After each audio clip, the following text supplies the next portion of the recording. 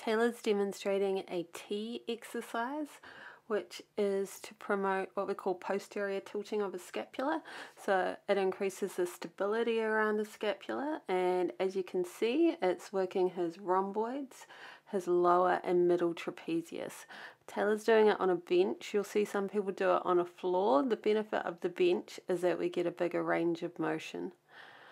And he's working hard to keep his upper trapezius relaxed and just focusing on his lower shoulder blade.